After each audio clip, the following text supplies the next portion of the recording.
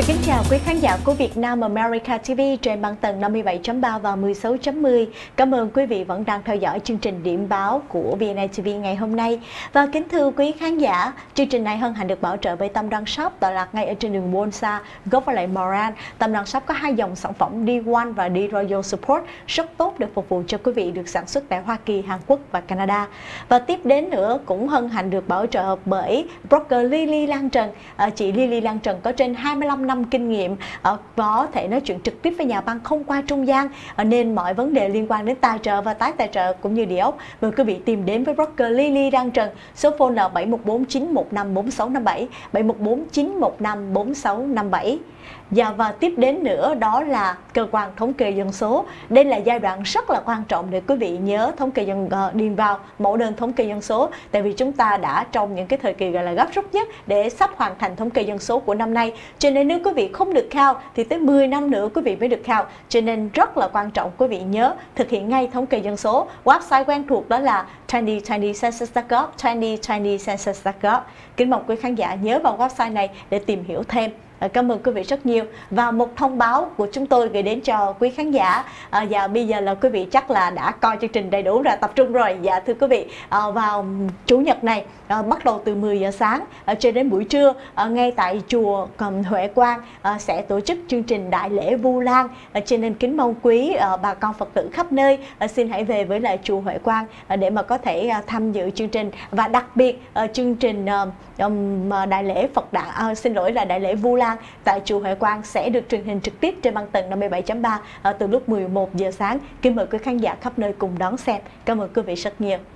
Và kính thưa quý khán giả tiếp đến vẫn là những bản tin trong buổi sáng ngày hôm nay. Dạ mời chị. Dạ, cảm ơn Mỹ Linh và xin ờ, mời quý khán giả đến với một bản tin cho thấy rằng đệ nhất phu nhân đang gây ra một cái sự xáo động khi mà cô bà đã giữ sử dụng được cái email ờ, không phải là của chính phủ mà thuộc về email của cá nhân bà. Thì một cái người cựu cố vấn tên là Stephanie Winston Wolkoff cũng là người bạn thân của bà đệ nhất phu nhân. Thì nhân dịp bà đã xuất nhân bản một cái cuốn sách hồi ký có tên là Melania và tôi thăng trầm trong tình bạn của tôi với đệ nhất phu nhân thì bà đã tiết lộ với là một cái tờ báo rằng là bà và bà cũng như là đệ nhất phu nhân đã không dùng tới email của tòa bạch ốc. À, thì bà Melania Trump đã dùng một cái địa chỉ email riêng thuộc về từ Trump Organization và Meliam của là và email của Meliana Trump.com cũng như là những cái iMessage và những cái ứng dụng dụng nhắn tin bằng mật mã Signal khi ta ở tại tòa bạch ốc. Và những cái vấn đề này là bà dùng để mà thảo luận về cái việc thuê nhân viên cho chính phủ hoặc là những lên lịch chi tiết để mà của tổng thống cũng như là đệ nhất phu nhân trong một chuyến thăm đến Israel và Nhật Bản vừa rồi à, cũng như lịch chi tiết của tổng thống và và chiến lược sáng kiến về BBS của bà và chuẩn bị cho chương trình lăng trứng trong lễ phục sinh này. Cũng như là vấn đề lễ à, lễ nhậm chức tài chính cho cái, cái vấn đề lễ nhậm chức của tổng thống Trump vân vân. Tất cả mọi thứ như vậy không những là đệ nhất phu nhân và con gái của uh, tổng thống Trump và con rể của tổng thống Trump là Ivanka Trump và Trace Kushner cũng đã dùng email riêng cho công việc của chính phủ. Nhưng theo một người luật sư à, về um, của tòa bạch ốc là ông Richard Panther thì ông có nói rằng ông là cựu cho làm việc cho cựu tổng thống George Bush từ thời gian năm 2005 cho đến 2007. Ông nói rằng thật sự ra là bà đệ nhất phu nhân á, không phải là người thuộc về nhân viên của chính phủ nên là nếu mà bà làm công việc này cho chính phủ thì bà nên dùng email của tòa bạch ốc thì nó ra sẽ tốt hơn. Và đạo luật, cái hồ sơ của tổng thống cũng đã cho phép để mà dùng email cá nhân. Nhưng mà ông nói là nếu mà làm như vậy thì sẽ gây ra rất là nguy hiểm. Khi mà có những hồ sơ đó, nếu mà lỡ mà bị lọt ra ngoài, thì khi mà ra tòa thì sẽ rất khó cho tòa bạch ốc. Kính thưa quý khán giả và cái sự việc này làm cho chúng ta nhớ đến là uh, trong lần bà, Hil, uh, bà, bà Hillary, Hillary Clinton, Clinton khi mà yeah. Ừ. bà tranh cử uh, cùng với lại tổng thống Donald Trump trong uh, của năm 2016 thì sự việc mà bà dùng email cá nhân để giải quyết ở uh, tất cả những cái uh, sự việc những cái công việc của mình uh, khi còn làm bộ trưởng bộ ngoại giao thì cũng đã gây rất là nhiều uh, cái sự khó tranh khăn cãi. Dạ, yeah. và gây nhiều tranh cãi và cũng làm cho bà lao đao uh, vì những cái uh, email đó và cho nên là làm cho người ta quay ngược trở lại để hỏi. Tuy nhiên, với trường hợp của đệ nhất phu nhân thì nó nó nhẹ nhàng hơn nhiều. Ờ, câu chuyện sẽ không đi đến phần là quá gay gắt dạ thưa yeah. quý vị à, tiếp đến nữa là một bản tin liên quan à, đến việc là à, người à, dẫn à, cái người dẫn đầu trong một cuộc đấu tranh để đòi lại công lý cho một uh, nạn nhân của một cuộc thảm sát tại Tulsa, um, Oklahoma vào năm 1921. Năm nay đã 105 tuổi. Um, thưa quý vị, một người còn sống sót trong một cuộc thảm sát chủng tộc vào năm 1921 uh, tại Tulsa, Oklahoma là một nhân vật chính trong một vụ kiện đang được diễn ra rất là lớn ở tại Oklahoma để kiện chính phủ tại đây đã không giúp đỡ người dân trong vụ thảm sát của năm 1921. Người phụ nữ này có tên là Leslie Benefield Model là một cô bé ở lúc đó còn rất là nhỏ. Khi mà có đám đông của một người da trắng giận dữ đã tiến đến quận hạt Greenwood của thành phố Oklahoma, ở Tulsa của Oklahoma và đến một cái khu vực gọi là Black Wall Street. Tại vì nó gọi là Black Wall Street là ở đây có đến 300 các doanh nghiệp là những người da đen hết.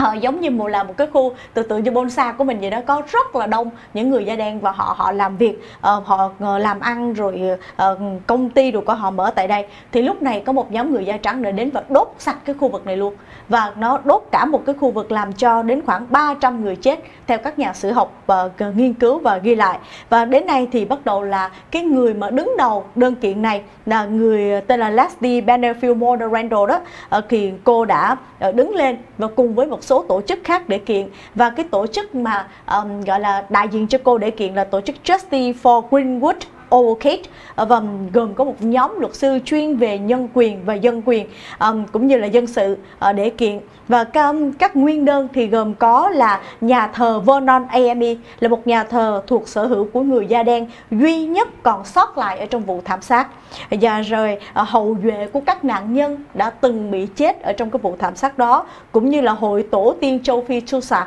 và vụ kiện này đã ờ, nói rằng nó nó đã lên án về cái sự chênh lệch cũng như phân biệt chủng tộc và gây ra một cái thảm họa kinh tế cho những người da đen uh, làm việc ở trong khu vực của uh, thành phố Tulsa, Oklahoma của khu vực uh, năm 1921 ở đó. Rồi uh, bây giờ là đó là nguyên đơn và bị đơn. Bị đơn gồm có là thành phố Tulsa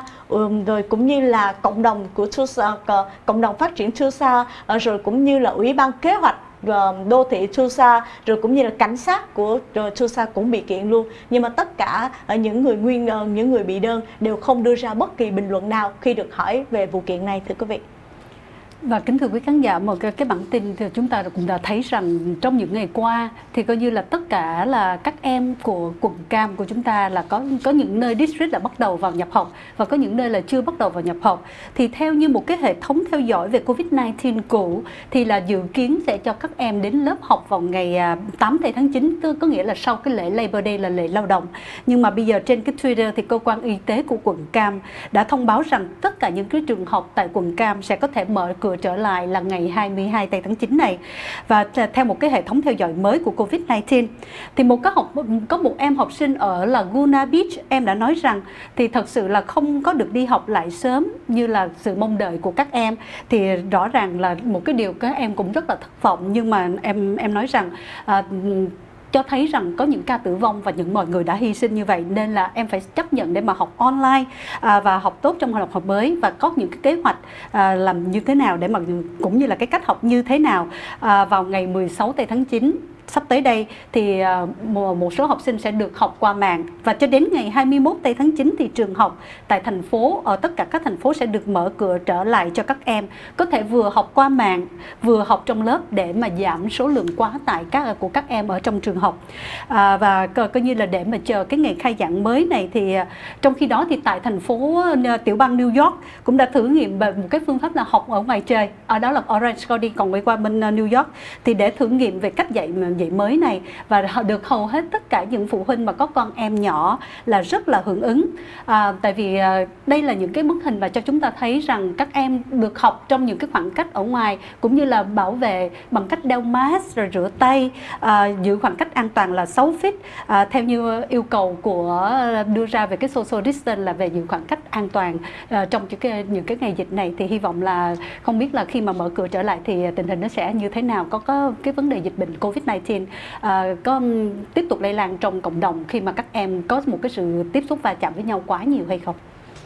Dạ và kính thưa quý khán giả, tiếp đến là một bản tin liên quan đến có một người thanh niên ờ, uh, 23 tuổi ở tại North um, North Texas đã nhận tội uh, đã um, giúp đỡ cho tổ chức khủng bố ISIS uh, và tòa án khi mà quyết định là anh ta phải đối mặt với 20 năm tù giam đã cảm thấy đây là một ờ, bản án cần thiết để mà có tính chất răng đe và cũng như là ngăn cản uh, để các thanh niên khác nhìn vào để mà thấy là không nên uh, ủng hộ cho tổ chức ISIS cũng như giúp đỡ cho tổ chức ISIS này. Người thanh niên này có tên là Omar Kuzu uh, và là một công dân Mỹ đã nhận tội trước tòa án uh, vào ngày thứ tư uh, nhận tổ chức tòa án liên bang ờ, vì đã giúp đỡ và đi theo tổ chức khủng bố ISIS và giúp đỡ cả về vật chất cũng như là làm việc cho tổ chức ISIS luôn. Và anh ta kể lại, anh ta cùng với anh trai vào năm 2014 đã đến với Syria, ở đây 5 năm để giúp đỡ công việc làm liên lạc cho các chiến binh của nhà nước Hồi giáo ISIS tại tiền tuyến và làm việc tại một trung tâm công nghệ của Caliphate. Ở Kuzu đã bị quân đội Syria bắt giữ vào năm 2019 và sau đó chuyển giao cho FBI và bị bắt trở về Texas để đối mặt với lại các cáo buộc của mình. Và cuối cùng thì sau nhiều phiên tòa thì vào ở thứ tư vừa qua thì anh ta đã nhận tội và đã bị kết án 20 năm, thưa quý vị và chúng ta chuẩn bị đón một cái lễ gọi là lễ Labor Day, một cái lễ lao động vào ngày 7 tháng 9 đây thì theo như các chuyên gia khí tượng đã cho biết thì có đưa ra một cái cảnh báo rằng California, cả miền Bắc và miền Nam luôn sẽ phải đối diện với những cơn nắng nóng rất là kỷ lục trong cái thời gian lễ này. Um, có thể xảy ra vào cuối tuần trước cái ngày lễ lao động sẽ có thể là dự đoán theo dự báo thì có thể kéo dài từ thứ sáu cho đến qua ngày thứ hai của ngày à, 7 tháng 9 ngày lễ lao động luôn. À, những cái quận như là San Diego, um, Diego hoặc là quận Cam và quận Los Angeles nhiệt độ có thể lên đến là hơn cả trăm độ F luôn. Và nhờ sẽ có những người sẽ kéo nhau ra bờ biển tại vì quá nóng như vậy. À, thì tại à, những cái thành phố khác như Burbank, Woodland, Santa Clarita Riverside và San Bernardino là nhiệt độ là trên khoảng 110 độ F. Còn riêng tại thành phố của Los Angeles thì à, tính tới thứ bảy thì nhiệt độ lên khoảng 100 độ F và riêng của Anaheim, thành phố Anaheim là khoảng 105 thì chúng ta ở trong cái vùng này chúng ta cũng sẽ bị ảnh hưởng rất là nhiều. Trong khi đó thì tại miền Bắc California thì vùng Bay Area thì nắng nóng cũng ảnh hưởng từ thứ bảy cho tới thứ hai luôn. Và các chuyên gia khí tượng nói rằng khi mà thời tiết nắng nóng như vậy thì nhiều người sẽ đổ xô ra biển để hứng cái không khí, cái gió biển đó cũng như là tránh cái cơn nắng nóng hoặc là đi vô những cái mall bây giờ thì lại đóng cửa chưa được mở cửa ra rất là nhiều thì cái biển sẽ rất là đông thì các chuyên gia cũng cảnh báo là chúng ta nên uh, cẩn thận khi mà đi ra ngoài cũng nên giữ về các biện pháp mà mà về giãn cách xã hội an toàn là 6 feet cũng như đeo mask và những cái um, dụng cụ bảo hộ an toàn cho chúng ta. Thưa quý khán giả, tiếp đến là một bản tin liên quan đến uh, thi thể của một người lính thuộc Fort Hood sẽ trở về Massachusetts. Um, và, đã uh, bây giờ thì có một bản tin liên quan đến hài cốt của một người lính uh, đã đóng quân tại Fort Hood. Người này đã được tìm thấy đã chết ở cách căn cứ quân đội của Texas khoảng 3 km, đã trở về với gia đình. Anh ta ở Massachusetts vào ngày thứ ba. Uh, có một báo cáo khám nghiệm tử thi được công bố vào ngày thứ ba cho thấy là người lính này ờ, là ờ, Fernandez 23 tuổi đã chết vì đã tự tử bằng cách treo cổ. Thi thể của anh được tìm thấy trên một cái cây gần với đường ray xe lửa vào ngày 25 tháng 8 và anh ta đã nộp một cái bản report uh, về uh, gọi là có một cáo buộc quan hệ tình dục ở trước khi mất tích và thi thể của Fernandez đã, đã đến được với sân bay quốc tế Boston Logan vào ngày thứ ba. Gia đình đã rất là xúc động uh, trước cái chết của người lính này. Cái chết của anh ta là trong một chuỗi những uh, bi kịch gần đây liên quan đến pháo đài Fort Hood được đưa ra là tiêu điểm của của, của toàn quốc luôn sau khi người lính ờ, uh, 20 tuổi là Vanessa Gulen đã bị một đồng đội đánh chết ở trong lúc mà chờ uh, ở trong phòng chứa căn cứ uh, vũ vũ khí ở căn cứ này. Rồi các quan chức của quân đội Hoa Kỳ đã công bố những thay đổi ở trong cái ban lãnh đạo của Forward là tại vì dường như là có những cái giống như những cái sự hà khắc hay làm cho binh lính có những cái việc là ảnh hưởng đến tâm lý của họ giống là dẫn đến cả những cái vụ bạo động ở trong cái cái khu vực của base area này nữa và cho nên là đến nay thì người ta vẫn tiếp tục điều tra cũng như là thay đổi cái vào phần lãnh đạo của um, căn cứ Fort Hood này luôn kính thưa quý vị. Dạ và đến đây thì xin chân thành cảm ơn quý khán giả và xin mời quý vị vẫn giữ băng tầng 57.3 và 16.10. Chúng tôi sẽ quay trở lại sau một vài phút quảng cáo.